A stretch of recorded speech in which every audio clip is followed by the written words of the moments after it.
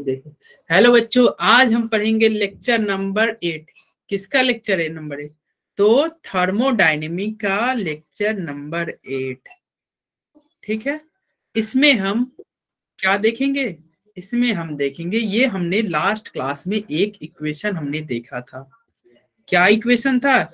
ये आपका change in entropy का इक्वेशन था। ये इक्वेशन हम लास्ट क्लास में डिराइव भी किए थे और हमने इसको पढ़ा था। अब ये आता है। इस इक्वेशन को ना हम क्या करेंगे? थोड़ा और ब्रेक करेंगे। कैसे ब्रेक करेंगे? तो देखो। Delta S is equal to क्या है? N C V, L N T two by T one और N R, L N V two by V one. तो इसको हम ब्रेक कैसे करेंगे? तो हमें पता है, हमें क्या पता है?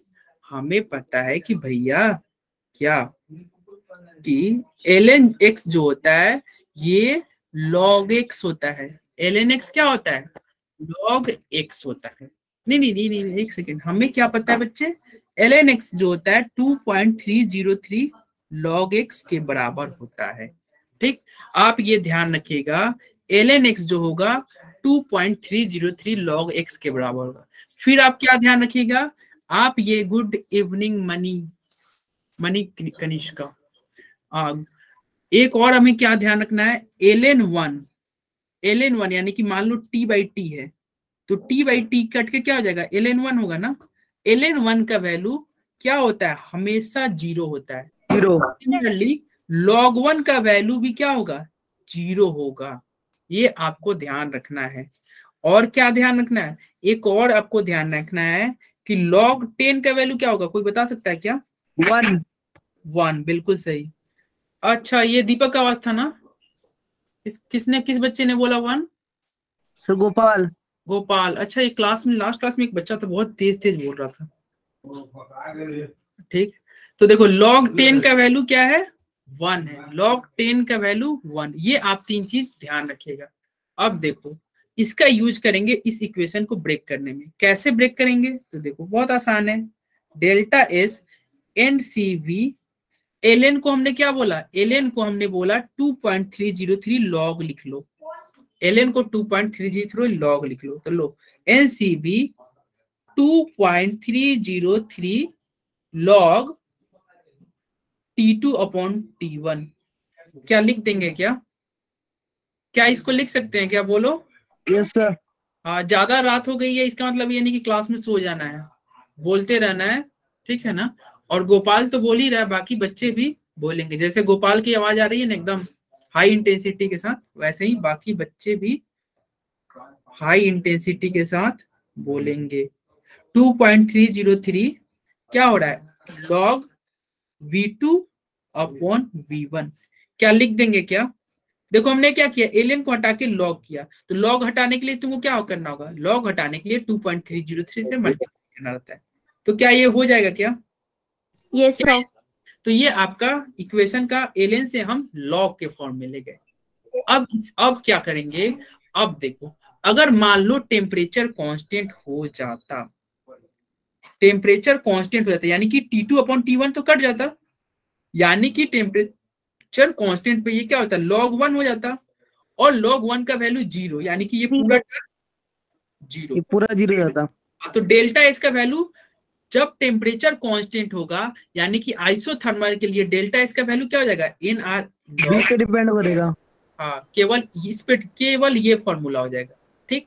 अगर मान लो इसी में यदि वॉल्यूम कांस्टेंट हो जाए यानी कि आइसो बारिक हो जाए नहीं वॉल्यूम कांस्टेंट मतलब आइसो कोरिक हो जाए तो वॉल्यूम कांस्टेंट होगा तो क्या हो जाएगा? V2 to upon V one वो पूरा वैल्यू कट जाएगा ज़ीरो हो जाएगा। तो ये पूरा टर्म ज़ीरो तो क्या हो जाएगा? टेम्परेचर डिपेंड करेगा। क्या बच्चे? सिर्फ़ टेम्परेचर पे डिपेंड करेगा फिर। हाँ केवल ये फॉर्मूला हो जाएगा। केवल फॉर्मूला ये हो जाएगा ठीक? और ये एक हमने और फॉर्मूला लास्ट क्लास में देखा था ये वाला एनसीपी के फॉर्म में भी डेल्टा एस का देखा था। तो अगर मान लो प्रेशर कांस्टेंट हो जाएगा यानी कि आइसो बारिक तो ये कट जाएगा। ये कट जाएगा और क्या हो जाएगा? ये पूरा एल ज़ीरो हो जाएगा। तो क्या फॉर्मूला हो जाएगा डेल्टा एस का? N C P L N T two by T one समझ में आया क्या? क्या yes, ये सर ये सारे समझ में आया ना? यस सर यस सर अब देखो इसका यूज़ कहाँ हो रहा है? तो इसका यूज़ यहाँ पे हो रहा है। कहाँ पे? यहाँ पे आपको दिया हुआ है आइसोबारिक प्रोसेस क्या दिया हुआ है? आइसोबारिक तो आइसोबारिक प्रोसेस में क्या होता है? प्रेस अच्छा ये लास्ट क्लास में तो प्रेशर हाँ, ट्रिक बताई थे कैसे आइसोबारिक हाँ लास्ट टाइम में हम लोग ट्रिक भी पढ़े थे इसका। तो देखो ये प्रेशर कांस्टेंट होगा तो देखो यहाँ पे प्रेशर वाला टर्म टर्म केवल क्या है? T two upon T one वाला टर्म है। आइसोबारिक में केवल T two upon T one वाला टर्म है। देखो आइसोकोरिक में क्या हो जाएगा? वॉल्यूम. कांस्टेंट यानी कि वॉल्यूम वाला टर्म कट जाएगा और फॉर्मूला क्या बचेगा? केवल NCV L N T two upon T one बचेगा। समझ में आ रहा है ना? अरे समझ में आ रहा है ना? Yes sir Yes. और जो है अगला है आइसोथर्मल प्रोसेस यानी कि टेम्परेचर तो टेम्परेचर कांस्टेंट यानी कि टेम्परेचर का टर्म कट कट गया। क्या बचा? तो बस वॉल्यूम वाला टर्म बच गया। समझ में आया? Sir. Yes, sir. ये समझ में आ गया Yes, तो आप बताओ ये क्वेश्चन का आंसर एक्सक्यूज मी सर हाँ बच्चे। जब टेम्परेचर कांस्टेंट था तो सीवी कहाँ गया? एनसीपी ऊपर वाली स्लाइड दिखाने के बाद। सर 38.3 है। अच्छा ये वाला सीवी कहाँ गया? तो सीवी बच्चे टेम्परेचर कांस्टेंट होगा तो L N T two by T one cut के क्या बच जाएगा? N C V L N one और एल एन वन का वैल्यू ज़ीरो तो क्या ये कट नहीं जाएगा और ये नहीं बच जाएगा? बताओ। ओके सर ठीक है ना? तो हमारा ये टेम्परेचर कांस्टेंट होगा तो ये बच गया। तो लो ये बच गया। अब ये इसी फॉर्मूला का यूज़ करके नेक्स्ट क्वेश्चन में यही फॉर्मूला यूज़ होगा। देखो कैसे ये फॉर्मूला यूज़ होगा? तो क्वेश्चन में क्या दिया है? आइसोथर्मल प्रोसेस क्वेश्चन में क्या दिया है? आइसोथर्मल प्रोसेस तो आइसोथर्मल का मतलब क्या हुआ? Temperature constant. और पूछ क्या रहा है? चेंज इन इंट्रोपी तो इसका मैं पोल जनरेट कर रहा हूँ। आपको पोल में आंसर देना है। पोल जनरेट किया जाए क्या? इसका मैं पोल 38.3 है। क्या? 38.3 डी ऑप्शन। अरे यार ये तो बच्चा सही आंसर पहले ही बोल दिया। पोल जनरेट करने से पहले डी ऑप्शन है। अरे मेरे क्लास में तो बहुत इंटेलिजेंट बच्चे हैं यार। मैं पोल जनरेट भी नहीं किया क्वेश्चन बताया भी नहीं बच्चे आंसर भी दे दिए। किसका आंसर था बच्चे वो? नाम बताना अपना। गोपाल ने आंसर सही दिया। और किसने बोला था? ये दो बच्चे के एक, एक बच्चा और एक बच्ची कनिष्का। अच्छा। मैं जो बच्चे आंसर दे रहे हैं ना उनका मैं नाम नोट मतलब सर आपकी वॉइस बहुत अच्छा मेरी वॉइस धीरे आ रही है क्या?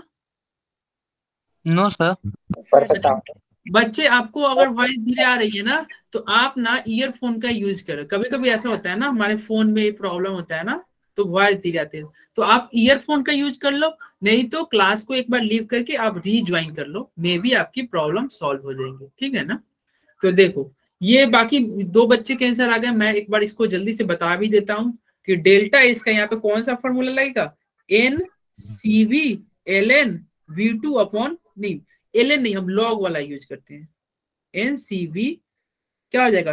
Two point three zero three log V two upon V one V two upon V one नहीं नहीं नहीं, एक सेकेंड सीवी कहाँ से हमने लिख दिया? अरे अरे, क्या ही लिख दिया यार। सीवी वाला टर्म तो कट जाएगा ना। फॉर्मूला तो ये हो जाएगा ना डेल्टा एस इजिकल टू क्या जाएगा? N R log two point three log V two upon V one और two point three zero three से मल्टीप्लाई करते हैं।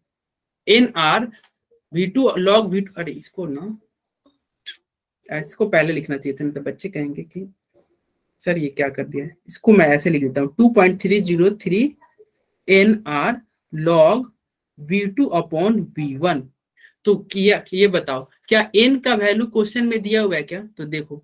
यस सर एन दिया हुआ है। मोल तो एन आपका क्या हो गया? टू मोल हो गया। आर का वैल्यू क्या होगा? तो देखो। Eight point three one four हाँ क्यों होगा? क्योंकि ऑप्शन आपका जूल में है। तो इसलिए ऑप्शन जूल में है तो आर का वैल्यू हो जाएगा 8.314 ठीक? और V2 का वैल्यू क्या होगा? V2 जो है देखो एक्सपेंशन कर रहा है ना क्वेश्चन में क्या कर रहा है? गैस एक्सपेंशन कर रहा है यानी कि 10 से क्या हो गया? 100 हो गया। गैस का एक्सपेंशन 10 से 100 हो रहा है। यानी कि V2 क्या हो गया? V2 तुम्हारा 100 हुआ और V1 क्या हुआ? वी वन तुम्हारा टेन हुआ। तो तुम log V two upon V रखोगे तो क्या हो जाएगा? Log V two upon V रखोगे यानी कि log ten hundred upon ten यानी कि क्या हो जाएगा? लॉग टेन और लॉग टेन का वैल्यू हमने पढ़ा ही वन तो इसका वैल्यू वन हो जाएगा? एन का वैल्यू. भी कर दिए। एन का वैल्यू देखो लॉग का वैल्यू यहाँ पे हमने आ रहा आ गया। मैं एक सर्कल कर देता हूँ दूसरे कलर से। लॉग का वैल्यू यहाँ आ गया एन का वैल्यू यहाँ टू दिया हुआ है। आर का वैल्यू आपका कहाँ है? आर का वैल्यू यहाँ पे है और बाकी आप वैल्यू पुट करो डेल्टा एस आपका निकल जाएगा। किसी बच्चे को ये क्वेश्चन नहीं समझ में आया हो, कोई डाउट हो तो बोलो। सर आप तो अच्छा पढ़ाते हो। Thank you Abhishek. तो बोलो, किसी बच्चों को ये डाउट हो तो बोलो। सबको क्लियर तो मैं नेक्स्ट क्वेश्चन दे रहा हूँ। देखो ये आपका सॉल्यूशन यहाँ पे दिया हुआ है। आप लोग इसका भी हेल्प ले सकते हैं घर पे। यहाँ पे आर बाई मिस्टेक छूट गया है। देखो यहाँ पे क्या है? ये एन हो गया ये आर हो गया ये वी टू हो गया और ये वी वन हो गया। तो लो तब तो दिया हुआ है। तो सॉल्यूशन भी आपको दिया हुआ है। ठीक है? और हम आगे बढ़ते हैं। ये क्वेश्चन है the process with negative entropy change आप बच्चे इसका आंसर पोल में दीजिएगा।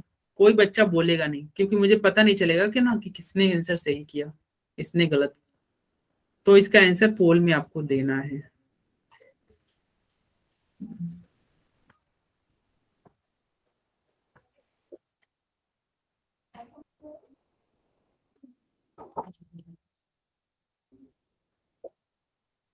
बच्चे अभी तक आ रहे हैं यार। सो गए थे क्या यार? बच्चों सो गए थे क्या? जो लेट से आ रहे हैं।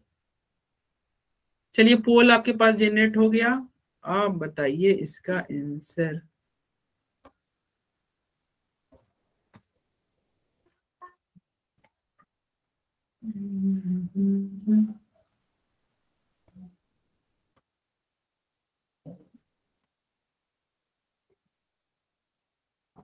बताइए आंसर जल्दी से।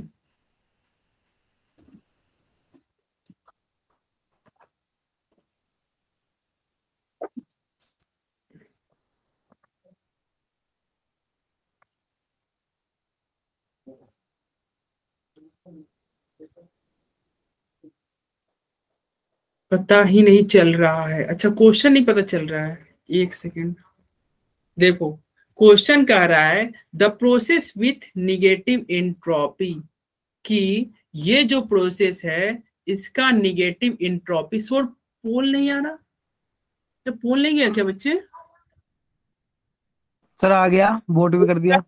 और सभी बच्चे के आंसर भी सही है। बस दो बच्चे ने गलत किया। दो बच्चे के छोड़ के बाकी सभी बच्चे ने आंसर सही किया जिसने आंसर पता नहीं चल रहा। अच्छा आंसर नहीं पता चल रहा देखो आप क्वेश्चन समझे नहीं इसका मतलब। सभी बच्चे के आंसर सही आ रहे हैं दो बच्चे को छोड़ के बहुत बढ़िया। एक बच्चे ने और मिस्टेक किया अभी। देखो क्वेश्चन क्या कर रहा है? The process with negative entropy अब निगेटिव इंट्रोपी का हमने एक एक कंसेप्ट पढ़ा था कौन सा कंसेप्ट क्या था? कि हमने लास्ट क्लास में पढ़ा था कि क्या पढ़ा था? क्लास में, ये आपका क्लासरूम है। हमने बोला था कि बेटा, मान लो तुम किसी दिन क्लास में क्या चले गए? क्लास में तुम पहले चले गए। तुम क्लास में पहले गए, इसका मतलब क्या है? तुम क्लास में अकेले हो। क्लास में अकेले हो। तो अकेले हो तो तुम क्या करोगे? तुम चुपचाप बैठे रहोगे। किससे बात करोगे? किसके साथ लड़ाई झगड़ा करोगे? चुप, तुम चुपचाप बैठे हो। यानी कि तुम्हारा इंट्रोपी क्या था? कम था। जब क्लास में तुम अकेले थे तो तुम्हारा इंट्रोपी क्या था? कम था। हमने ये पढ़ा था। फिर क्या हमने बताया था? क्लास में जब और बच्चे आ गए, आपके फ्रेंड आ गए क्लास में और बच्चे आ गए तो अब आप शांत से नहीं बैठ सकते। क्यों? क्योंकि आपके फ्रेंड आपको बैठने नहीं देंगे। आप लोग आपस में बातें कीजिएगा गेम खेलिएगा। इनफैक्ट गेम खेलते खेलते ऐसा भी होगा कि आप लोग आपस में लड़ाई झगड़ा भी कर ले। यानी कि क्लास में जब बच्चे बढ़ रहे थे तो इंट्रोपी क्या कर रहा था? बढ़ रहा था। यानी कि इंट्रोपी हमने क्या पढ़ा था? इंट्रोपी एक एक्सटेंसिव प्रॉपर्टी होता है, जो कि डायरेक्टली प्रोपोर्शनल होता है अमाउंट के। इंट्रोपी अमाउंट के डायरेक्टली प्रोपोर्शनल होगा। अमाउंट मतलब इंट्रोपी मोल के डायरेक्टली प्रोपोर्शनल होगा। किसके? मोल के। यानी कि जब भी संख्या बढ़ेगा, कहा? प्रोडक्ट का संख्या बढ़ेगा मोल बढ़ेगा तो इंट्रोपी बढ़ेगा। क्या हमने बोला? जब भी प्रोडक्ट का संख्या यानी कि मोल बढ़ेगा तो इंट्रोपी बढ़ेगा और इंट्रोपी बढ़ने का मतलब होता है इंट्रोपी पॉजिटिव लेकिन क्वेश्चन में क्या पूछ रहा है? इंट्रोपी इसको चाहिए निगेटिव तो इंट्रोपी निगेटिव कब कैसे होगा? क्लास में बच्चे बढ़े थे तो इंट्रोपी बढ़ा था। क्लास में से बच्चे को फिर मान लो छुट्टी हुआ फिर आपके सारे फ्रेंड चले गए घर। आप क्लास में अकेले बच गए। फिर आप शांत रहिएगा ना। फिर आपका इंट्रॉपी घट गया। तो इंट्रॉपी घटाना है यानी कि प्रोडक्ट का मोल कम कर दो। तो तुमको देखना है कि किसमें प्रोडक्ट का मोल कम हो रहा है। ठीक है ना? तो पोल में बहुत बच्चों ने आंसर सही दिए थे। ओनली दो और चार। छह बच्चे के आंसर रॉन्ग थे। वो बच्चे के आंसर किसके रॉन्ग थे? वो मैं अभी बाद में देखूँगा क्लास के बाद में, और किसके सही थे, वो भी मैं क्लास के बाद सभी के नाम देखूँगा। तो देखो the process with negative entropy negative entropy पूछा। तो इंट्रोपी घटाना है, यानी कि बच्चे कम करने हैं क्लास में बच्चे कम करने अमाउंट में बच्चे कम। तो पहला रिएक्शन क्या कर? रहा है डिसोसिएशन यानी कि सी एस ओ फोर था, वो टूट के किसमें बना? सी ओ और सीओ थ्री यानी कि पहले एक बच्चा था बाद में दो हो गया। तो क्लास में क्या हो गया? एक से दो हो गए ना? पहले एक बच्चा था बाद में क्लास में क्या हो गया? दो बच्चे। तो बताओ इसमें इंट्रोपी निगेटिव या पॉजिटिव बताओ। पहला ऑप्शन सही है गलत? गलत। गलत रॉन्ग क्यों? गलत क्यों रॉन्ग हो गया? क्योंकि क्लास में बच्चे क्या कर रहे हैं? डिसोसिएशन कर रहा है ना?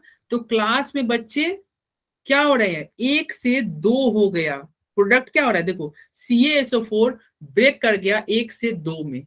तो हेमा आप बिल्कुल सही बोल रहे हैं पहला ऑप्शन गलत है। दूसरा कह रहा है डिसोल्यूशन ऑफ़ आयोडीन मतलब आयोडीन क्या होता है? आयोडीन सॉलिड स्टेट में है। और ये डिसोल्यूशन मतलब क्या होता है? इसको पानी में आप डिजोल्व कर दिए। तो आयोडीन आपका लिक्विड स्टेट में हो गया। तो आपको ही पता है लिक्विड का इंट्रोपी सॉलिड के कंपेयर में क्या होता है? ज़्यादा। तो क्या ये ऑप्शन का इंट्रोपी बढ़ रहा है या घट रहा है? बढ़ रहा है ना? बढ़ रही है। तो ये ऑप्शन भी गलत हुआ ना क्योंकि हमें क्या चाहिए? निगेटिव इंट्रोपी चाहिए। तो ये ऑप्शन भी हमारा गलत। अच्छा ऑप्शन नंबर डी के बारे में आपको क्या कहना है? सब्लिमेशन मतलब क्या होता है? सर गैस सॉलिड से गैस बन रहा है तो इसमें भी एंट्रोपी पॉजिटिव होगी गैस हाँ बिल्कुल सही। सॉलिड से आ, गैस बन रहा है। गोपाल रिंसू आप सही बोल रहे हैं। सॉलिड से गैस बन रहा है यानी कि एंट्रोपी इसमें भी बढ़ रही है। लेकिन हमें क्या चाहिए? निगेटिव एंट्रोपी चाहिए ना? हमें चाहिए निगेटिव एंट्रोपी लेकिन इसमें क्या हो रहा है? एंट्रोपी बढ़ रहा है। तो लो ये ऑप्शन भी गलत। अगला सी ऑप्शन क्या कह रहा है? कि अमोनिया का बनना किससे? N2 और H2 तो एन टू गैस से सॉलिड बन रहा है नेगेटिव हाँ बिल्कुल सही। और ऐसे भी तुम सोच सकते हो N two plus three mole S two बनता है क्या? Two N S three two N S three N two plus N two अच्छा बच्चे ये होता है ना ये जो तुम बोल रहे हो ना गैस से सॉलिड नहीं ये अमोनिया भी ना आपका गैस ही रहेगा। ये सब गैस है ठीक है? लेकिन वो कंसेप्ट नहीं तुम ये देखो। पहले क्या है क्लास में क्या है बच्चे? एक बच्चा है एन टू क्या है? एक और तीन। हाइड्रोजन कितना है? तीन। तो क्लास में पहले कितने बच्चे थे? टोटल चार बच्चे थे। लेकिन प्रोडक्ट में कितना हुआ? टोटल दो बच्चा ही हुआ। यानी कि पहले चार बच्चा था क्लास में, बाद में दो बच्चा बच्चा। यानी कि बच्चे स्टूडेंट क्या हो रहे हैं? कम हो रहे हैं क्लास में। स्टूडेंट कम हुआ, यानी कि इंट्रॉपी कम हो गया। तो ऑप्शन नंबर आपका सी सही हुआ। क्यों? क्योंकि पहले मोल ज़्यादा थे प्रोडक्ट में मोल कम हो गए। समझ में आया क्या? क्या समझ में आया? यस सर यस किसी को तो बोले मैं फिर से समझा दूँगा। किसी को भी डाउट होगा तो वो पूछ सकता है। सर नहीं डाउट है तो ये आपका यहाँ पे सॉल्यूशन भी हो गया और आते हैं आज का हमारा पहला टॉपिक जो कि है gift free energy gifts free energy ये आपका इस क्लास का पहला टॉपिक और ये जो सर अवंती मॉडल प्रोवाइड कराता है तो है क्या? हाँ आपको डेली डीपीपी आपके ग्रुप में मिलता है ना? आप उसको सॉल्व कीजिए। ए दो डीपीपी आपको मिल गया होगा पहले आज दो और जाएँगे आप। कहाँ पे? आपके व्हाट्सएप ग्रुप आपके आपके व्हाट्सएप ग्रुप में आपको प्रोवाइड किया जाएगा। जिस व्हाट्सएप ग्रुप में आपको क्लास का लिंक जाता होगा अभी तक एक भी नहीं आया। आप- आप लिंक ही आता और कुछ नहीं आता। आप बच्चे ग्रुप लेट से ज्वाइन किए होंगे ठीक है ना? आज आज फिर जाएगा। आपको ना आज ग्रुप में फिर जाएगा। ठीक है? और तो ये class का भी नहीं आया। अच्छा लास्ट क्लास का पीपीटी ये नहीं आ गया क्या जो मैं पढ़ा रहा हूँ? No sir. वो सर कुछ भी नहीं आया अभी ग्रुप पे। अच्छा ये ये पीपीटी नहीं गया क्लास का? अरे। अच्छा मैं फिर से इसको बोल मतलब भेजता हूँ, ठीक है ना? आज क्लास के बाद लास्ट क्लास वाला पीपीटी भी और आज वाला भी, फिर से मैं भेजता हूँ। अच्छे बोलने नहीं गया देखो गिफ्ट फ्री बस मीटिंग की क्लास थी है। नहीं सब सब वहाँ पे आएँगे, सब वहाँ पे आएँगे, ठीक है ना? देखो। नोट्स नहीं जा रहा है, चला जाएगा, ठीक। देखो गिफ्ट फ्री एनर्जी आज का हमारा पहला कंसेप्ट है गिफ्ट फ्री एनर्जी बड़ा घटिया नाम है यार गिफ्ट फ्री एनर्जी नाम ही यार बोरिंग है। मान लो गिफ्ट फ्री की एनर्जी की जगह पे रहता गोपाल फ्री एनर्जी कितना अच्छा नाम लगता Gopal free energy Abhishek free energy gift free energy नाम ही बोर्डिंग है। नाम ही देख के इंसान को पढ़ने का नाम है। हाँ ये साइंटिस्ट का नाम है गिफ्ट साइंटिस्ट है। ठीक है ना? तो ये नाम ही यार बोर्डिंग है। तो ये क्या होता है? पहले इसको हम पढ़ते हैं। इसको पढ़ने से पहले हमें एक जवाब दीजिए। स्पॉन्टेनियस रिएक्शन क्या होता है? स्पॉन्टेनियस लगातार जो होती रहे। मतलब लगातार अपने आप हो जाए। हाँ ये सही बोला। जो रिएक्शन अच्छा केवल गोपाल ही क्यों बोल रहा है? बाकी बच्चे सो रहे हैं क्या? क्या नो सर तो आप लोग भी बोलिए ना स्पॉन्टेनियस तो लास्ट क्लास में हमने पढ़ा ही था। एक चिड़िया का कहानी पढ़ा था। दो चिड़िए थे कबूतर थे। तो इतना अच्छा स्टोरी से हमने पढ़ा था। स्पॉन्टेनियस रिएक्शन मतलब जो रिएक्शन अपने आप हो।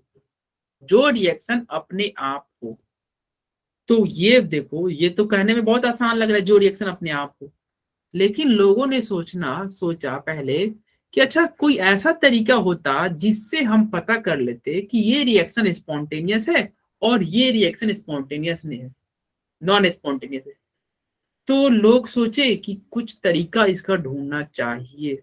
तो क्या तरीका ढूंढे? तरीका नंबर वन क्या था? लोगों ने बोला कि, क्या बोला? कि भैया, ये देखो, जब तुम गर्म पानी को कहाँ रखे? तुम जब गर्म पानी को टेबल पे रखे तो वो पानी क्या हो रहा है? अपने आप ठंडा हो जा रहा है। तो क्या बोला? डेल्टा एच, वो रिएक्शन क्या है भैया? जब हम गर्म पानी को टेबल पे रख रहे हैं, वो अपने आप ठंडा हो रहा है तो वो रिएक्शन एक्सोथर्मिक या एंडोथर्मिक स्पॉन्टेनियस तो है एक्सोथर्मिक सर अगर हम गर्मियों में रखेंगे तो और गर्म होता है ना? नहीं गर्म पानी को अरे गर्म पानी यानी कि तुम गैस पे जब गर्म कर दिए और उसको टेबल पे रखोगे तो तो हमेशा ठंडा होगा ना? सर वो एक्सोथर्मिक रिएक्शन मतलब हाँ वो रूम टेम्परेचर पे आ जाएगा। अगर मान लो वो तुम गर्म पानी रख दी जिसका जिसका टेम्परेचर मान लो पचास डिग्री सेल्सियस है तो उसको जो तुम रखोगे तो ठंडा होकर रूम टेम्परेचर पे आ जाएगा मेरा यही कहना है। ठीक है ना? हाथ तो नहीं ना जलेगा। नॉर्मल टेम्पर हाँ नॉर्मल टेम्परेचर पे आ जाएगा। तो देखो, वो रिएक्शन एक्सोथर्मिक तो लोगों ने क्या बोला कि वो रिएक्शन अपने आप हो रहा है, अपने आप ठंडा हो रहा है। यानी कि एक्सोथर्मिक को तुम क्या बोल दो? स्पॉन्टेनियस सारे लोग खुश हो गए कि अरे अरे, बहुत आसानी बहुत आसान कंसेप्ट मिल गया कि एक्सोथर्मिक रिएक्शन को क्या बोल देंगे? स्पॉन्टेनियस बोल देंगे। लो, सारे लोग खुश। और एक्सोथर्मिक मतलब क्या होता है? Delta H negative. तो उन सारे लोग खुश हो गए कि, कि जिसका डेल्टा एच निगेटिव यानी कि एक्सोथर्मिक रिएक्शन यानी कि स्पॉन्टेनियस तो इसी से मान लो पहला कंसेप्ट आया तो इसी का ठीक उल्टा लोगों ने क्या समझा? कि जिसका डेल्टा एच इंडोथर्मिक हो जाए यानी कि जिसका डेल्टा एच पॉजिटिव हो जाए उसको तुम नॉन स्पॉन्टेनियस नॉन स्पॉन्टेनियस सारे लोग खुश कि अरे अरे एक नया कंसेप्ट मिल गया हमें कोई टेंशन नहीं है। लेकिन ये फेल कर जाएगा। और मेरे मुझे उम्मीद है इस क्लास का एक बच्चा फेल कर देगा। कोई ना कोई फेल कर देगा। कैसे? आपको फेल करना है। इसको एक एग्ज़ाम्पल देके। किस कैसा एग्ज़ाम्पल आप एक इंडोथर्मिक का एग्ज़ाम्पल इंडोथर्मिक रिएक्शन का एग्ज़ाम्पल दीजिए जो कि स्पॉन्टेनियस हो। क्या हो? आप एक इंडोथर्मिक का एग्ज़ाम्पल दीजिए जो रिएक्शन स्पॉन्टेनियस हो। क्या आप दे सकते हैं? चाय चाय का कप। चाय का कप क्या हो रहा है? चाय का कप गर्म है तो गर्म से वो ठंडा हो रहा है तो एक्सोथर्मिक नहीं है।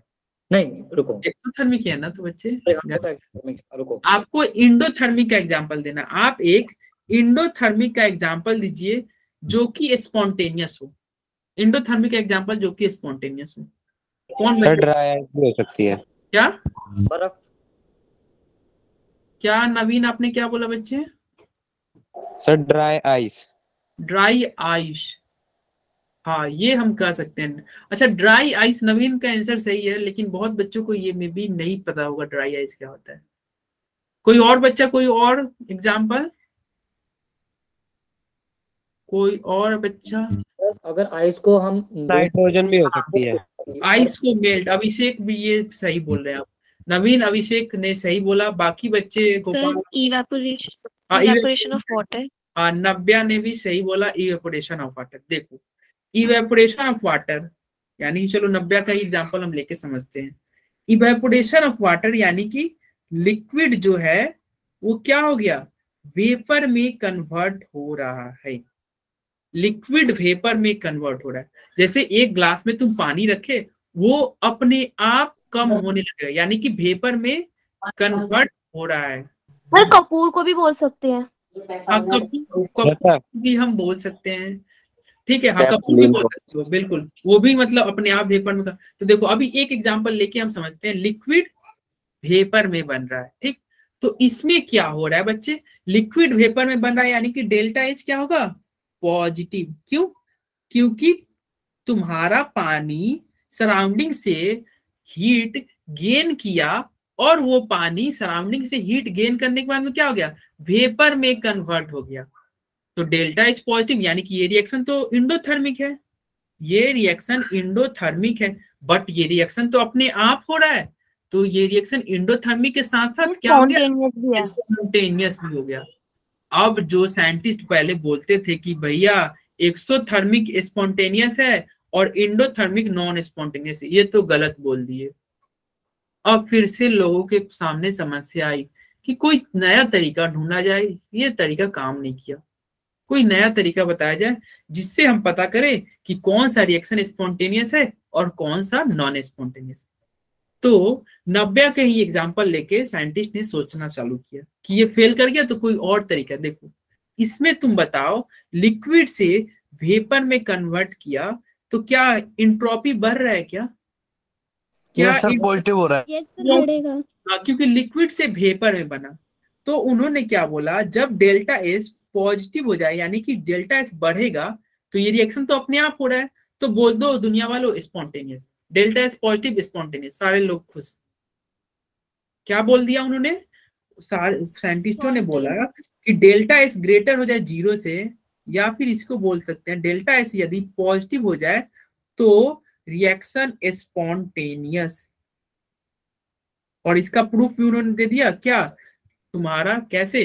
प्रूफ दे दिया कि जैसे आइसक्रीम है। आइसक्रीम तुम टेबल पे रख रहे हो, वो मेल्ट कर गया। तो मेल्ट कर गया यानी क्या हुआ? सॉलिड से वो लिक्विड में आ रहा है और वो अपने आप मेल्ट हो रहा है। आइसक्रीम सॉलिड से लिक्विड में आया और अपने आप मेल्ट हो रहा है, यानी कि उसका एंट्रोपी बढ़ रहा है। सिमिलरली लिक्विड तुम्हारा लिक्विड तुम्हारा क्या हो गया? भेपर में कन्वर्ट हुआ। अपने आप भेपर में कन्वर्ट हो रहा है और इंट्रोपी भी तो बढ़ रहा है ना? तो बोल दिया ये स्पॉन्टेनियस ठीक है? सारे लोग खुश और कि हाँ चलो चलो, अब हम स्पॉन्टेनियस आसानी से पता कर सकते हैं। बट ये भी फेल कर जाएगा। कब फेल कर जाएगा? एक रिएक्शन होता है liquefaction of gas liquefaction of gas इसमें क्या होता है? लिक्विड इसमें क्या होता है? लिक्विड आपका गैस में नहीं नहीं लिक्विफिकेशन ऑफ़ गैस कर रहे हैं ना। यानी कि इसमें क्या होगा? गैस लिक्विड में कन्वर्ट लिक्विड बन जाती है क्रिटिकल टेम्परेचर के बाद? गैस जो है लिक्विड में कन्वर्ट हो रहा है और ये अपने आप कन्वर्ट होता है। तो ये रिएक्शन स्पॉन्टेनियस होता है। बट यहाँ पे डेल्टा एस क्या हो जाएगा? डेल्टा एस गैस से डेल्टा एस तो निगेटिव हो गया। अब लो भैया ये रिएक्शन स्पॉन्टेनियस है और डेल्टा एस निगेटिव ये भी अब फेल कर गया। हम दो जुगाड़ लगाए थे। हम दो एक जुगाड़ लगाए थे क्या? कि लो, एक एक्सोथर्मिक रिएक्शन को हमने बोल दिया स्पॉन्टेनियस जो कि फेल कर गया। दूसरा हमने बोला कि डेल्टा एस पॉजिटिव होगा डेल्टा एस पॉजिटिव होगा तो स्पॉन्टेनियस बोल देना, ये भी फेल कर गया।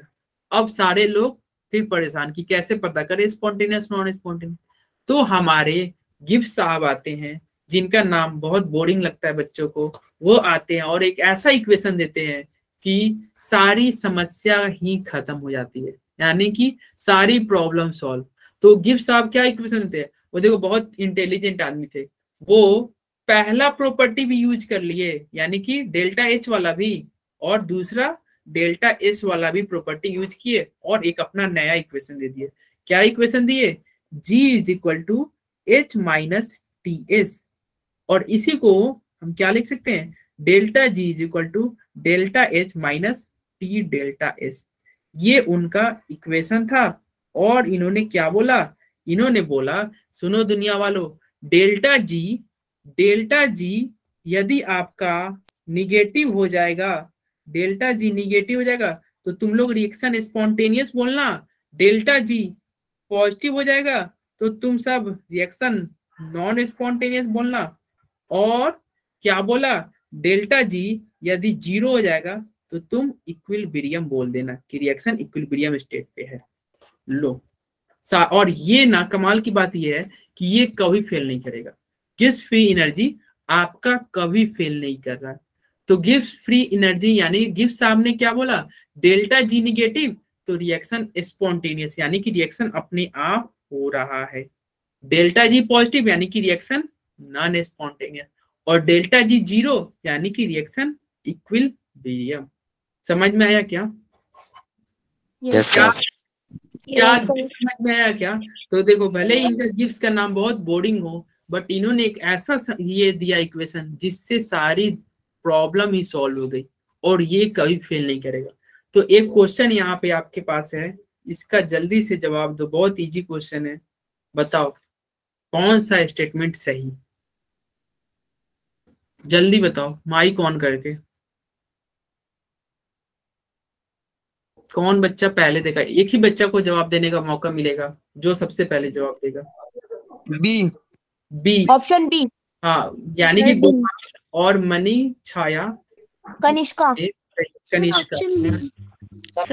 Option option B आएगा। तो देखो बहुत आसान है। अब सभी बच्चे ने नवीन भी सही बोले। हिमा सर बी रक्षा हिमांशु सबसे। देखो क्या पहला ऑप्शन क्या कर? रहा है डेल्टा जी पॉजिटिव तो रिएक्शन स्पॉन्टेनियस ये तो गलत हो गया। ना, डेल्टा जी पॉजिटिव पे रिएक्शन तो नॉन स्पॉन्टेनियस होता है। तो पहला ऑप्शन गलत। चौथा ऑप्शन क्या कर रहा है? Delta G less than zero तो लेस देन ज़ीरो पे क्या होता है? रिएक्शन तो स्पॉन्टेनियस होता है बट इसने क्या दिया? नॉन स्पॉन्टेनियस तो ये ऑप्शन भी गलत। ऑप्शन नंबर सी क्या कर रहा है? डेल्टा जी ज़ीरो के बराबर है तो रिएक्शन स्टील मूविंग रिएक्शन अभी भी मूव करेगा। नहीं रिएक्शन तो इक्विलिब्रियम पे होता है। तो आपका बी ऑप्शन सही, बाकी सब गलत। किसी बच्चे को डाउट किसी को कोई डाउट नहीं समझ में आया हो तो पूछ ले हैंड रेज करे सिंपली मैं फिर से समझा दूँगा। तो अब हम आते हैं गिफ्ट्स के जहाँ पे थे। अब देखो, ये गिफ्ट्स का कुछ इक्वेशन हो गया। अब कुछ इसके केस पढ़ेंगे। केस यानी कि वो सर वाले केस नहीं, ना ही जो केस मुकदमा होता है वो केस भी नहीं। Case one, two, three, four जो आप मैथ में पढ़ते हैं, वैसा केस। केस नंबर वन, इन्होंने क्या बोला कि जब डेल्टा एच निगेटिव होगा, क्या? डेल्टा एच निगेटिव होगा और निगेटिव होगा मतलब क्या हुआ? एक्सोथर्मिक निगेटिव का मतलब एक्सोथर्मिक और क्या बोला? डेल्टा एस पॉजिटिव होगा। डेल्टा एस पॉजिटिव होगा तो रिएक्शन हमेशा स्पॉन्टेनियस होगा। चाहे तुम कुछ भी कर लो रिएक्शन हमेशा स्पॉन्टेनियस होगा। यानी कि वो रिएक्शन हमेशा अपने आप होगा। कब?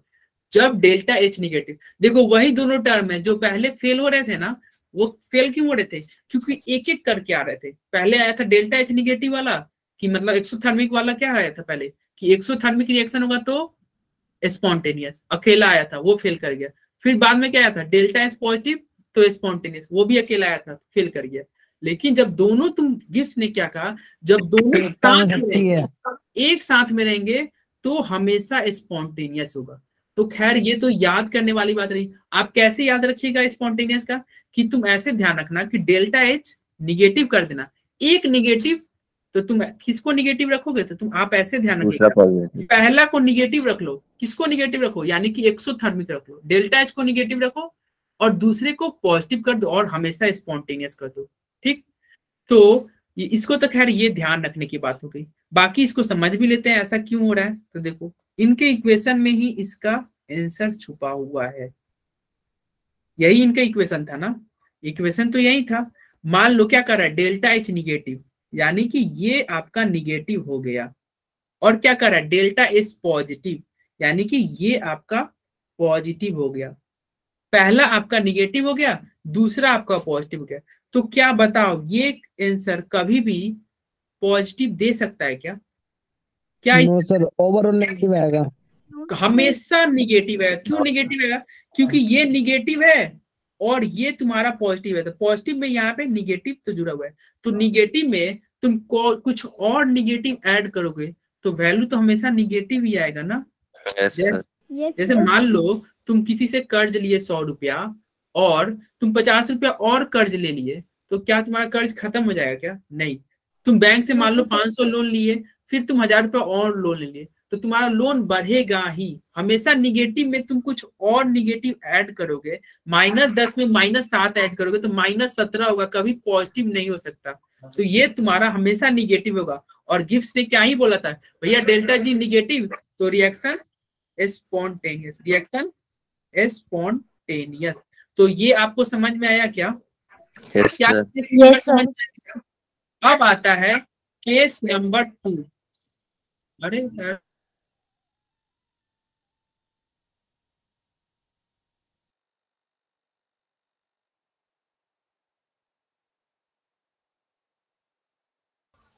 ये अचानक से भी ये कुछ आवाज़ सुनाई दिया था आपको?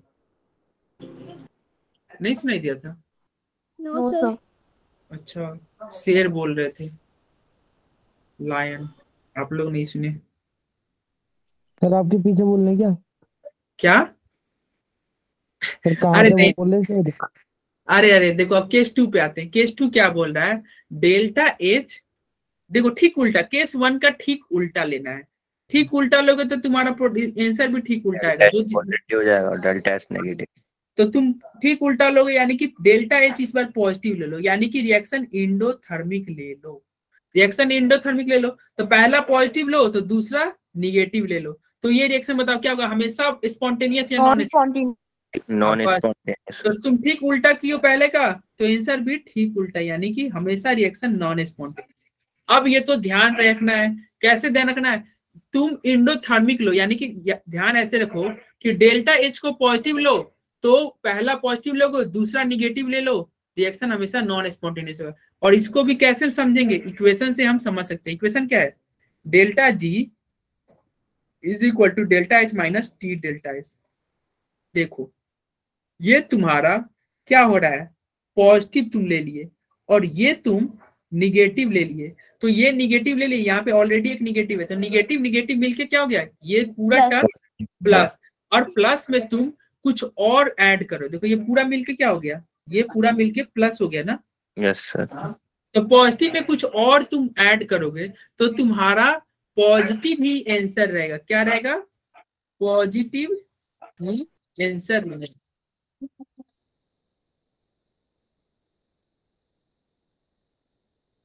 आप लोग को आवाज़ शोर सुनाई दे रहा है क्या? कोई sound yes sir yes sir आ रही है आवाज़। हाँ आवाज़ आ रही है ना? अरे पता नहीं आतंक हो गया यार। मतलब क्लास में बाहर बहुत शोर हो गया देखो क्या रिडॉक्स रिएक्शन कब कराओगे? क्या? रिडॉक्स रिडॉक्स अच्छा बच्चे वो भी होगा वो भी होगा। सारे में से हम खुद से भी कर सकते हैं। साउंड कुछ नहीं आ रहा है। और अभी- organic कुछ नहीं है। अभी ये हम ना केमिकल इक्विलिब्रियम करेंगे।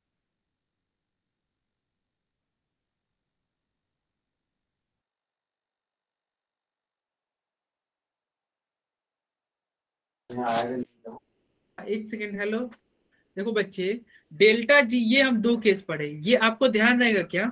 Delta G is equal to delta H minus T delta H तो ये आपका हमेशा पॉजिटिव हो रहा है।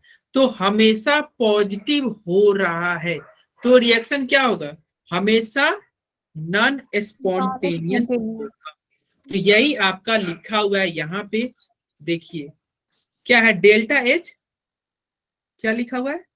निगेटिव यानी कि एक्सोथर्मिक डेल्टा एस निगेटिव दिया हुआ है यानी कि निगेटिव और यहाँ पे तुम्हारा डेल्टा एस पॉजिटिव एक निगेटिव एक निगेटिव यानी कि डेल्टा एच निगेटिव है दूसरा पॉजिटिव है तो रिएक्शन हमेशा स्पॉन्टेनियस क्या रिएक्शन हमेशा स्पॉन्टेनियस होगा क्या?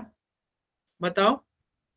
यस सर यस सर दूसरा पॉइंट क्या दिया है? एक तुम्हारा पॉजिटिव दिया हुआ है पहला पॉजिटिव डेल्टा एच पॉजिटिव यानी कि इंडोथर्मिक एंडोथर्मिक तो पहला इंडोथर्मिक और दूसरा क्या है? ठीक उल्टा यानी कि निगेटिव तो क्या ये हमेशा नॉन स्पॉन्टेनियस होगा क्या यस सर यस सर यही आपका देखिए नॉन स्पॉन्टेनियस लिखा हुआ है।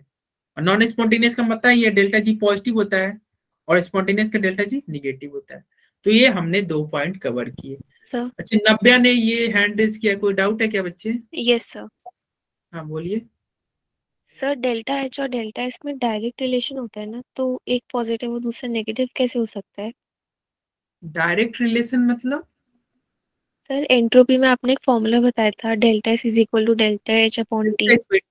हाँ। अरे तो ये पॉजिटिव निगेटिव मतलब समझे बच्चे क्या कर रहा है। ये एक्चुअली पॉजिटिव पॉजिटिव का मतलब होता है कि ये बता रहा है कि हीट गेन किया और निगेटिव का मतलब हुआ हीट लॉस किया। ये जैसे ना आप फिजिक्स में कहते हैं ना वेक्टर क्वांटिटी वेक्टर क्या होता है?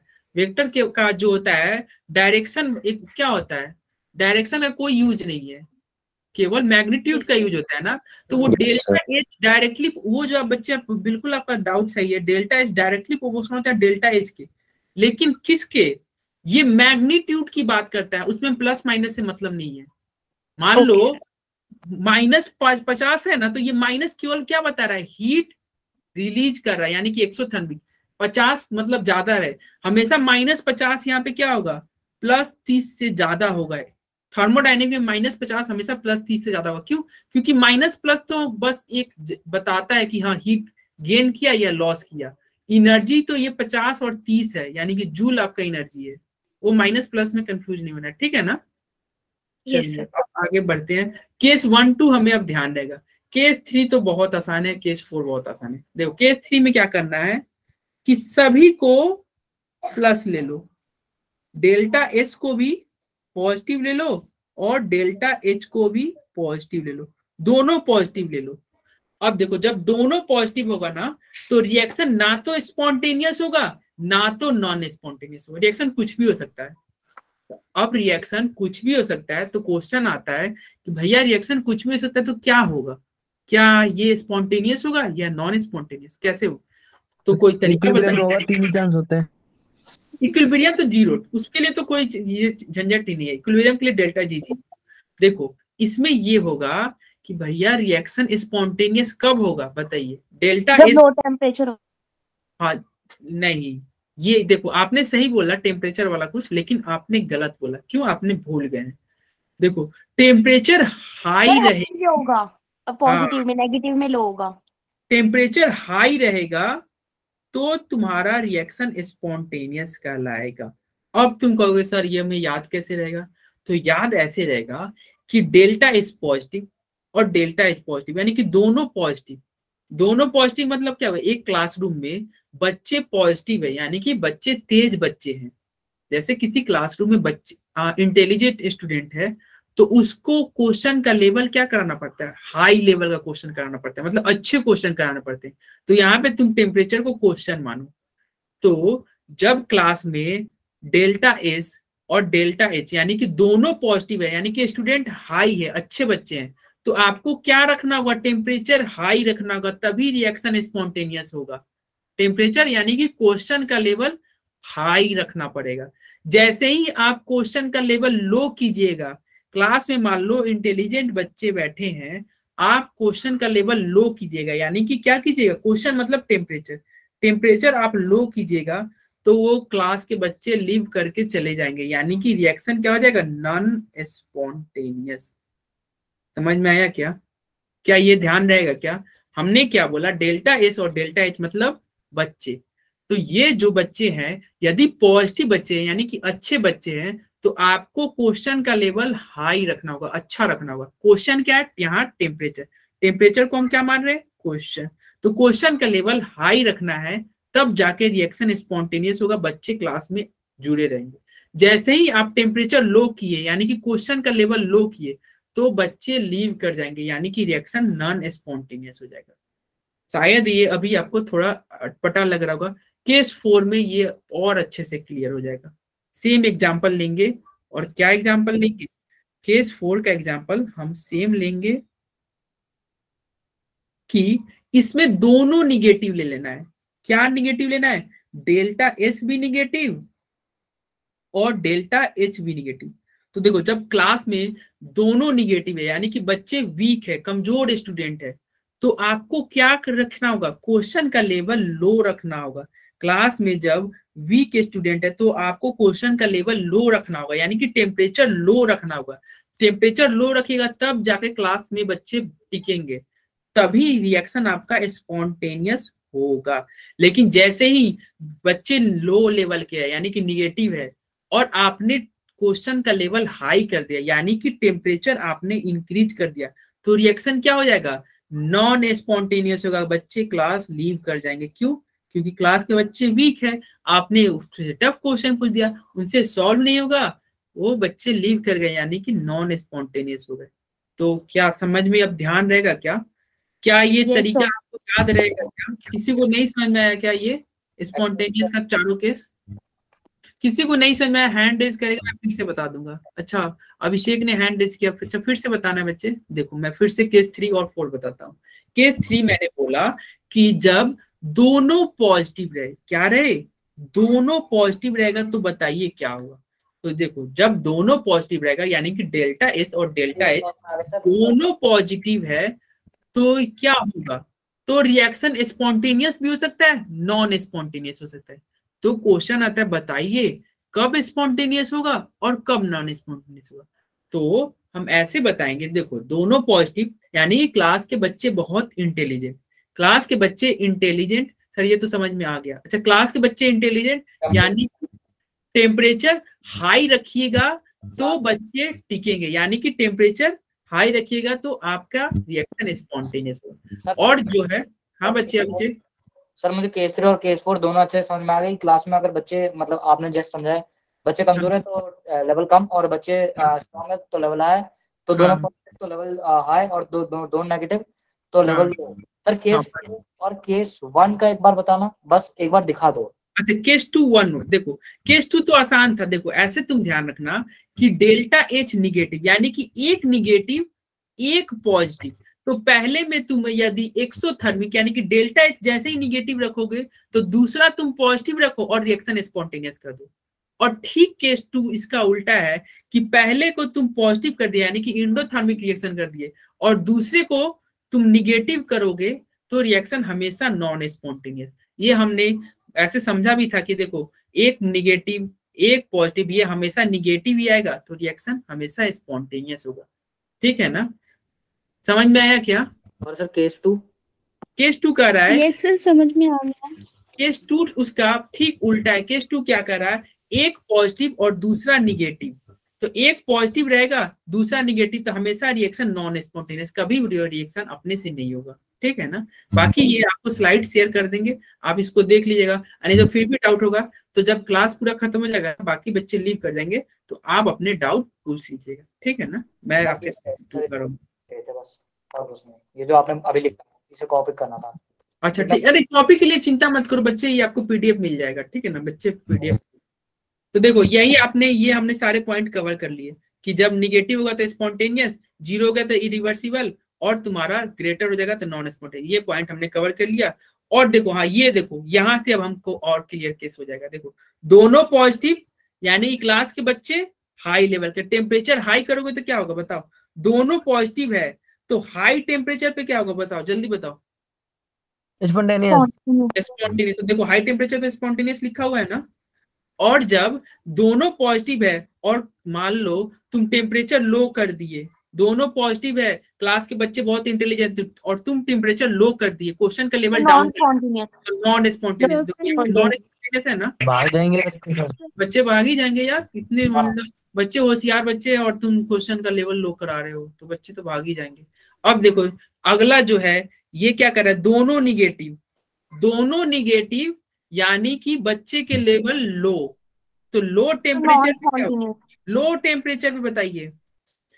जब दोनों बच्चे मतलब लो लेवल के हैं, तो लो टेम्परेचर पे क्या होगा. क्यों? क्योंकि बच्चे का लेवल लो है तो आप अगर हाई कर दिया यानी क्वेश्चन का लेवल हाई कर दिए तो इस केस में क्या हो जाएगा रिएक्शन नॉन बच्चे भाग जाएँगे।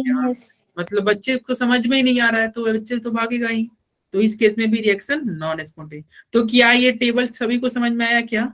यस सर यस सर बहुत अच्छा किसी को Yeah. कुछ तो पूछ लेगा। ठीक है? तो डाउट नहीं है तो ये क्वेश्चन अच्छा ये तो हमने कर ही लिया। ये इसका एक्सप्लेनेशन दिया हुआ था। ये क्वेश्चन आपको बताना है। ठीक? क्वेश्चन क्या कह रहा है? मैं आपको क्वेश्चन समझा दे रहा हूँ। जल्दी से माइक ऑन करके देखिए आंसर देना है देखते हैं कौन सा बच्चा सबसे पहले आंसर देता है। पीसीएल फाइव है प्रोडक्ट में बना PCL three plus CL two ठीक है? तो ये देखो ये दूसरा सही है। अच्छा दूसरा किसने बोला. सेकंड नंबर गोपाल नव्या हेमा प्रज्ञा रक्षा ठीक है? सेकंड नंबर तो अभी देखते हैं ना मैं नाम ले रहा हूँ ज़रूरी नहीं कि सेकंड नंबर सही हो। मैं ये नाम ले रहा हूँ कि ये बच्चे बोल रहे हैं सेकंड नंबर अच्छा आपका कहना है सेकंड अभी देखते हैं सही है कि नहीं। देखो ये क्या है? एक रिएक्शन है। तो एक रिएक्शन दिया हुआ है। तो ये रिएक्शन में क्या हो रहा है? बॉन्ड टूट रहा है। तो बॉन्ड तो भैया अपने से टूटेगा नहीं। आप एंडोथर्मिक हाँ हीट दीजिएगा तभी बॉन्ड आपका टूटेगा। यानी कि इस केस में डेल्टा एच क्या हो जाएगा? डेल्टा एच तो पॉजिटिव क्यों? क्योंकि बॉन्ड तो अपने टूटेगा नहीं। और क्वेश्चन आता है कि बताइए जो प्रोडक्ट में है वो संख्या बढ़ रहा है कि कम हो रहा है? क्लास में देखो। बढ़ रहा है तो एंट्रोपी भी पॉजिटिव क्लास में पहले एक बच्चे थे बाद में एक प्लस एक यानी कि टोटल दो बच्चे हो गए। क्लास में पहले एक बच्चे थे अब क्या हो गया? क्लास में दो स्टूडेंट हो गए यानी कि इंट्रोपी भी तुम्हारा बढ़ गया। क्लास में बच्चे बढ़ रहे हैं ना पहले क्या था? एक था ना अब दो हो गया। यानी कि दोनों बढ़ रहा है डेल्टा एच भी बढ़ रहा है डेल्टा एस भी बढ़ रहा है तो रिएक्शन सेकेंड नंबर सही। समझ में आया क्या? Yes, तो बी, जितने बच्चे ने आंसर बोला था, हेमा, प्रज्ञा, नव्या, रक्षा, गोपाल तो उन सबके आंसर सही थे। ठीक है? ये आपका सॉल्यूशन भी दिया हुआ है, आप देख सकते हैं इसको। फिर ये एक और क्वेश्चन है, इसका आंसर देखते हैं कौन बच्चा पहले बताता है। क्या दिया हुआ है? Two C L gas convert कर रहा है सी एल टू गैस में। कोई बच्चा आंसर बताए, जल्दी से फटाक। फट क्या होना चाहिए ऑप्शन ये बताओ ऑप्शन ए क्या? ऑप्शन ए तीसरा एक मिनट एक मिनट एक मिनट एक minute. Sir C sir first होगा। अच्छा ये तुम चैट बॉक्स में डाल दो। इसका आंसर अलग अलग आ रहा है। इसे तुम चैट बॉक्स में डाल दो मैं इसको एक्सप्लेन करता हूँ। और देखते हैं किसका सही है। ठीक है? तो देखो आप लोग चैट बॉक्स में डाल दो देखो। ये जो रिएक्शन है तुम्हारा क्या है? क्लोरीन है। क्लोरीन गैस से Cl2 गैस में बन रहा है। यानी कि तुमको पता है, नेचर में क्लोरीन किस फॉर्म में पाया जाता है? नेचर में क्लोरीन Cl2 गैस में ही पाया जाता है। Cl2 गैस फॉर्म में पाया जाता है नेचर में। तो ये जो तुम्हारा है 2Cl Cl2 में बन रहा है। यानी कि जब रिएक्शन क्या हो गया? मोर स्टेबल ये क्या है? मोर स्टेबल स्टेट है। More stable state. ये क्या था? Less stable state. तो तुम ये ध्यान रखना, जब भी लेस स्टेबल से मोर स्टेबल में जाता है ना कोई कोई कंपाउंड रिएक्शन में लेस स्टेबल से मोर स्टेबल में जाता है तो वो रिएक्शन क्या होता है? वो रिएक्शन एक्चुअली एक्सोथर्मिक होता है। एक्सोथर्मिक होता है। और या फिर तुम ऐसे भी कह सकते हो कि एक्सोथर्मिक क्यों होगा? क्योंकि बॉन्ड का टूटना तुम्हारा इंडोथर्मिक था। तो बॉन्ड का जुड़ना तो एक्सोथर्मिक ही होगा। पहला जो एग्ज़ाम्पल हम देखे थे पीसीएल फाइव वाला, इसमें बॉन्ड टूट रहा था तो क्या था? हीट दे रहे थे तो बॉन्ड टूट रहा था। तो हीट निकालोगे तो बॉन्ड जुड़ जाएगा, ठीक ऑपोजिट या फिर ऐसे भी कर सकते थे कि क्लोरीन मोर स्टेबल में है लेस स्टेबल से मोर स्टेबल में जा रहा है तो रिएक्शन अपने आप होगा। एक्सोथर्मिक होगा, यानी कि डेल्टा एच निगेटिव होगा। अब तुम देखो, डेल्टा एच निगेटिव एक ही ऑप्शन में दिया था। तो ये तुम्हारा आंसर सही। और डेल्टा एस की बात करें तो यहाँ पे डेल्टा एस तुम देखो, पहले प्रोडक्ट में क्या है? एक मोल है रिएक्टेंट में दो मोल है। यानी कि पहले क्लास में दो बच्चे थे, बाद में क्लास में एक बच्चे हो गए। यानी कि एक बच्चा चला गया। अब एक बच्चा हुआ तो अमाउंट घटा। अमाउंट घटा यानी कि इंट्रोपी क्या होगा? घटेगा। यानी कि डेल्टा एस भी घट गया। तो डेल्टा एच भी निगेटिव डेल्टा एच भी निगेटिव तो इसमें तो मैक्सिमम बच्चों ने आंसर गलत ही किया। किसके आंसर सही थे अभी मैं देख के बताता हूँ। बच्चे बच्चे। और एक बच्चा है वो केवल ए ए, ए लिखते गया। इतने बार ए लिखा कि उसको ओवर कॉन्फिडेंस था। नवीन चौहान का आंसर नहीं नहीं ये तो पिछले क्वेश्चन का शायद था। नवीन चौहान थ्री लिखे हुए थे। पता नहीं इस क्वेश्चन का लिखे हुए थे क्या बच्चे आप? थ्री सी बाकी किसी ने नहीं लिखा यार? सर मैंने लिखा था। छा, हाँ छाया। हाँ छाया ने लिखा था सी और छाया का ही एकमात्र आंसर सही हुआ। बाकी सब गलत थे। देखो तो गलत है तो कोई बात नहीं। हमने कम से कम सीखने को तो मिला। क्या सीखने को मिला? कि देखिए जब बॉन्ड तोड़िएगा तो इंडोथर्मिक रिएक्शन होगा। और जब बॉन्ड जोड़िएगा तो एक्सोथर्मिक रिएक्शन होगा। या फिर ये भी कह सकते हैं कि यहाँ पे क्या हो रहा है?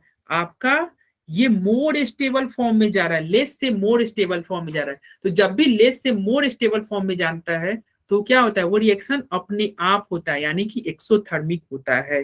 तो डेल्टा एच निगेटिव और डेल्टा एच तो निकालना आसानी था। किसी सर- बच्चे को ये क्वेश्चन नहीं समझ में आया हो? हाँ बच्चे। सर समझ में नहीं आया। एक बार और बता दीजिए। मैंने ये बोला कि तुम्हारा क्लोरीन है, रिएक्टेंट में क्या है? टू सी एल है, और प्रोडक्ट में क्या बना? सी एल टू यानी कि two C L C L two बन रहा है। यानी कि क्या हुआ? प्रोडक्ट में तुम्हारा सी एल टू का स्ट्रक्चर क्या होता है? ऐसे होता है ना सी एल और सी एल दो सी एल ऐसे जुड़े रहेंगे। तो यानी क्या हुआ? दो क्लोरीन आपस में जुड़ रहे हैं। तो जब आप बॉन्ड तोड़िएगा ना तो आपको हिट देना पड़ेगा।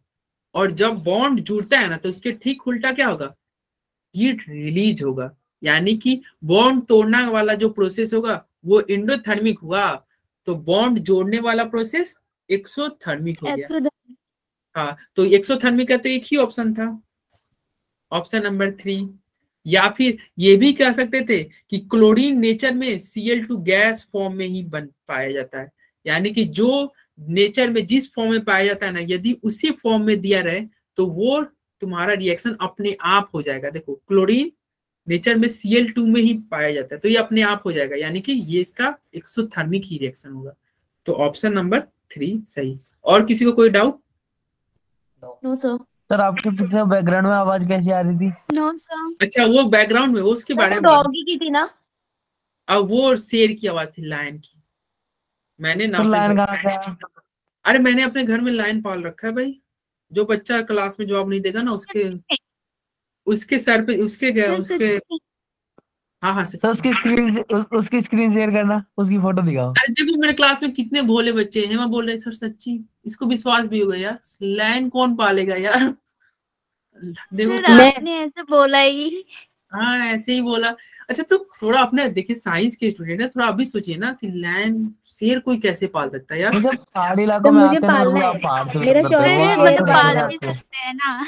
अच्छा नहीं नहीं नहीं शेर नहीं। एक्चुअली वो ना वो सर ये इंडिया है यहाँ सब पॉसिबल है। हाँ इंडिया में लेकिन शेर नहीं। शेर तो यार हमें हमें ज़िंदा ही रहने नहीं देगा ना हमें ही खा जाएगा। देखो अब आते हैं थर्ड लॉ ऑफ़ थर्मोडायनेमिक ये बहुत आसान है ये तुम लोग ही बता दोगे। थर्ड लॉ ऑफ़ थर्मोडायनेमिक ना तुम लोग बता दोगे। कैसे? तो आप बताओ जब टेम्परेचर बढ़ाते हैं तो इंट्रोपी क्या होता है? बढ़ेगा कि घटेगा? बढ़ेगा। हमने लास्ट क्लास में एग्जांपल ही पढ़ा था कि आप आप चेयर पे बैठे हैं चेयर के नीचे कोई आग लगा दिया तो क्या हो गया? आप चेयर से उठ के आप भागिएगा तो आपका इंट्रोपी बढ़ जा रहा था। लास्ट क्लास में एग्जांपल देखे थे। तो आपने सही बोला जब हम टेम्परेचर बढ़ाएँगे तो इंट्रोपी क्या होगा? बढ़ेगा। तो ये बताओ बढ़ेगा। टेम्परेचर घटाओगे तो इंट्रोपी क्या होगा? घटेगी। घटेगी। टेम्परेचर अगर बहुत घटाओगे तो क्या होगा इंट्रोपी पे? बहुत घटेगी। बहुत घटेगा। तो अगर मान लो टेम्परेचर घटाते घटाते अगर कोई इंसान ज़ीरो पे ले जाए zero kelvin zero entropy zero बस हो गया थर्मोडायनेमिक एक लिमिट के बाद फिर बढ़ेगी। क्या? क्या बच्चे? सर हो गया थर्मोडायनेमिक देखो थर्ड लॉ ऑफ़ थर्मोडायनेमिक यही कहता है कि टेम्परेचर जब ज़ीरो केल्विन हो जाएगा तो इंट्रोपी भी आपका ज़ीरो हो जाएगा। ज़ीरो केल्विन में एक चीज़ तुम ध्यान रखना ज़ीरो केल्विन की बात कर रहे हैं मतलब minus two minus two seventy three degree Celsius यानी कि थर्ड लॉ ये कहता है कि एट एब्सोल्यूट ज़ीरो जब आपका एब्सोल्यूट ज़ीरो रहेगा तो इंट्रोपी भी क्या हो जाएगा? ज़ीरो हो जाएगा। देखो कितना आसान लॉ था यार सबसे आसान लॉ Zero. ये तो तुम लोग भी बता सकते थे यार कॉमन सेंस की बात है। ये मान लो लॉ नहीं रहता तो आप भी सोच लेते ना कि टेम्परेचर घटाएँगे इंट्रोपी घटेगा। टेम्परेचर बहुत घटाएँगे इंट्रोपी बहुत घटेगा। टेम्परेचर ज़ीरो केल्विन करेंगे इंट्रोपी ज़ीरो हो जाएगा। यही था हमारा थर्ड लॉ थर्मोडायनेमिक कितना आसान है यार। तो देखो as temperature approaches absolute zero मतलब एब्सोल्यूट ज़ीरो का मतलब क्या होगा ज़ीरो केल्विन इंट्रोपी भी क्या हो जाएगा? ज़ीरो। यही आपका नीचे भी लिखा हुआ है कि जब टेम्परेचर एब्सोल्यूट ज़ीरो होगा तो आपका जो सर ये लॉ किसने दिया? ये शायद लॉ बच्चे नष्ट ने दिया था। नष्ट ने शायद ये लॉ दिया था। अभी थोड़ा मुझे इतना ध्यान नहीं आ रहा। इसको हम देख लेंगे, ठीक है? तो ये देखो क्या कर रहा है एट एब्सोल्यूट ज़ीरो यानी कि जब टेम्परेचर ये एक्चुअली लॉ ना, बहुत देखो क्या बच्चा वाला लॉ इससे कुछ क्वेश्चन भी नहीं बनता है। ये आपको बस थ्योरी नहीं पूछेगा कि ये लॉ क्या करता है, क्योंकि इसका कोई न्यूमेरिकल भी नहीं बन रहा है। जैसे फ़र्स्ट लॉ का हमने कितना एप्लीकेशन देखा था delta U plus Q plus W delta U equal to Q plus W second law का भी हमने कितना सारा एप्लीकेशन देखा इंट्रोपी स्पॉन्टेनी इसका कोई नहीं, बस थ्योरी पढ़ो, कहानी खत्म करो साइड करो। इसका कोई यूज़ ही नहीं है क्योंकि इतना आसान थ्योरी है। तो थर्ड लॉ क्या कर रहा है? जब टेम्परेचर एब्सोल्यूट ज़ीरो हो जाएगा तो आपका इंट्रोपी भी ज़ीरो हो जाएगा। और तुम्हारा स्ट्रक्चर जो होगा क्या होगा? परफेक्टली क्रिस्टलाइन स्ट्रक्चर होगा। समझ में आया क्या थर्ड लॉ ऑफ़ थर्मोडायनेमिक किसी को कोई डाउट तो ये तो किसी को कोई डाउट नहीं है। अच्छा ये क्वेश्चन तो मैं ये केवल बता दूँ क्या सेकंड नंबर ऑप्शन सही है क्या गलत? क्योंकि हमारे पास उतना टाइम नहीं है। ये बताओ, क्या ये सेकेंड ऑप्शन सही या गलत? देखो, क्या कर रहा है? चेंज इन इंट्रोपी यानी कि इंट्रोपी का चेंज क्या होता है? Delta S along with change in enthalpy यानी कि इंथैल्पी का change delta H decide the fate of a reaction fate मतलब रिएक्शन का किस्मत। कह रहा है कि डेल्टा एस और डेल्टा एच दोनों मिलके क्या रिएक्शन की किस्मत डिसाइड करते हैं क्या? क्या ये डिसाइड करते हैं मतलब स्पॉन्टेनियस होगा नॉन स्पॉन्टेनियस किस्मत फेट मतलब वही स्पॉन्टेनियस नॉन स्पॉन्टेनियस क्या यही दोनों मिलके डिसाइड करते हैं और देखो रिएक्शन का किस्मत कौन डिसाइड करता है? हमारे गिब्स बाबा डिसाइड करते हैं। गिब्स बाबा कैसे डिसाइड करते हैं? उन्होंने फॉर्मूला दिया था डेल्टा जी बराबर delta H minus T delta S और देखो गिब्स बाबा डिसाइड किसका यूज़ करके करते हैं भैया? इसी का तो यूज़ करते हैं डेल्टा एच और डेल्टा एच डेल्टा एच और डेल्टा एच तो क्वेश्चन में तो यही दिया हुआ था।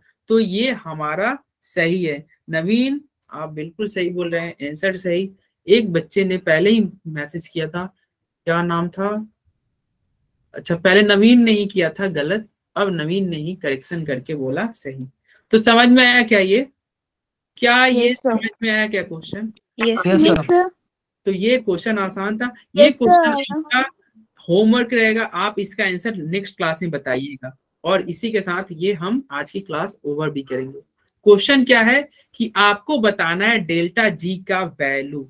तो देखो डेल्टा जी का तो कॉल किया है? सर 2.1 के आगे। क्या? सर ये डेल्टा यू में 2.1 के आगे क्या लिखा है? Kilo calorie kilo calorie K C A L kilo K for kilo calorie यानी कि अच्छा किस बच्चे ने पूछा? नवीन ने पूछा क्या? गोपाल ने पूछा, इसका मतलब गोपाल इसको देखते सॉल्व करना स्टार्ट भी कर दिया बहुत अच्छे। देखो, डेल्टा जी तो आपको निकालना है। तो डेल्टा जी का फॉर्मूला क्या होता है? Delta H minus T delta S तो देखो, यहाँ पे डेल्टा एस का वैल्यू दिया हुआ है। दिया हुआ है ना? Twenty kilo calorie twenty calorie दिया हुआ है। टेम्परेचर भी तुम्हारा दिया हुआ है थ्री हंड्रेड लेकिन इसने डेल्टा एच नहीं दिया हुआ है डेल्टा यू दिया है। अब कैसे? अगर डेल्टा एच हमें पता चल जाए तो हम डेल्टा जी फाइंड आउट कर सकते हैं कि नहीं? क्या डेल्टा एच पता चल जाए तो डेल्टा जी पता कर सकते हो क्या? सर अरे सो मत यार मुझे पता है बहुत लेट हो गया लेकिन यस सो कर सकते तो देखो डेल्टा एच क्या होता है? डेल्टा एच का फॉर्मूला होता है delta U plus delta N G R T तो देखो डेल्टा यू का वैल्यू तुमको क्वेश्चन में दिया हुआ है। क्या दिया हुआ है? डेल्टा यू का वैल्यू दिया हुआ है 2.1 किलो कैलोरी यानी कि क्या हो जाएगा? 2.1 किलो कैलोरी दिया यानी कि 2100 कैलोरी। आर का वैल्यू क्या होगा? कैलोरी में आर का value R is equal to क्या होता है? Two hmm. और टेम्परेचर आपका yes, sir. 300 केल्विन दिया ही हुआ है। 300 केल्विन अगर डेल्टा एन जी हमें पता चल जाए तो हम डेल्टा एच पता कर सकते हैं। डेल्टा एन जी टू है। सर वन होगा। अब देखते हैं डेल्टा एन जी सर कौन टू है टू है। सर टू है। सर टू है। किसका? नव्या और कनिष्का ने टू तो इन दोनों बच्चे ने बिल्कुल सही बोला डेल्टा एनजी टू होगा। कैसे टू होगा? तो डेल्टा टू देखो डेल्टा एनजी का फॉर्मूला क्या होता है? डेल्टा एनजी होता है N of product minus reactant और प्रोडक्ट किसका? केवल गैस ये जी जो है ना ये चिल्ला चिल्ला के बोल रहा है कि किसको लेना है? गैस को लेना भैया किसी और को मत लेना। ये जी यही बता रहा है कि केवल गैस को लेना है। तो गैस प्रोडक्ट में कितने मोल है? तो प्रोडक्ट में तो गैस दो मोल है तो हम क्या लिखेंगे? दो। रिएक्टेंट में गैस कितने मोल है? एक। नहीं रिएक्टेंट में गैस तो एक भी नहीं है ना ज़ीरो है लिक्विड है ना। तो दो माइनस ज़ीरो यानी कि दो। तो डेल्टा एन जी का वैल्यू क्या जाएगा? दो हो जाएगा। आर का वैल्यू टू हो गया टेम्परेचर थ्री हंड्रेड हो गया। तो हम ये रखेंगे डेल्टा एच आ जाएगा। फिर डेल्टा एच का वैल्यू आप यहाँ पुट कीजिएगा आपका आंसर आ जाएगा। ठीक है? तो नवीन का बोलना है टू पॉइंट वन बच्चे आप लगभग आर का वैल्यू हम टू लेंगे। Sir answer is two point five minus two point कन, कनिष्का का आंसर अप्रोक्स देखो आर जो है आप अभी तक क्या लेते आए होंगे? आई थिंक आप आर लेते आए होंगे eight point three one four या फिर zero point zero eight three हाँ देखो तो 8.314 कब लेते हैं? जब आर हम जूल में लेते हैं। ध्यान रखना। 8.314 हम कब लेते हैं? जब आर जूल में लेते हैं। ले और 0.0821 आप जो बोल रहे हैं ना वो कब लेते हैं? एटीएम लीटर में लेते हैं। एटीएम लीटर में। और आर का वैल्यू अगर कैलोरी में लेना होगा ना तो आप दो लीजिएगा दो कैलोरी तो देखो ये क्वेश्चन में देखो हर सारा यूनिट क्या दिया? कैलोरी में दिया है ना। डेल्टा यू भी कैलोरी में था डेल्टा एस भी कैलोरी में था। तो हम आर के आर को कैसे जूल में ले सकते हैं? यूनिट तो सेम में रहना चाहिए ना। भैया आलू और मान लो आपके घर में कोई पूछे आपसे कोई पूछे आपके पास पाँच आलू है और पाँच बैगन ऐड कर दिए या पाँच आलू है पाँच टमाटर ऐड कर दिए तो बताओ कितने आलू बढ़े? तो भैया आलू में तुम टमाटर ऐड थोड़ी कर सकते आलू के साथ आलू ही ऐड होता है। तो इसलिए जब यहाँ कैलोरी है तो ये आपको आर भी तो कैलोरी मिलेंगे नहीं तुम प्लस माइनस कैसे कर सकते हैं? क्या ऐसा हो सकता ऐसा कोई हो सकता है क्या क्वेश्चन कि मान लो आपके पास पाँच खरगोश थे दो बिल्ली मर गया तो बचाओ कि, बताओ कितने खरगोश बचे?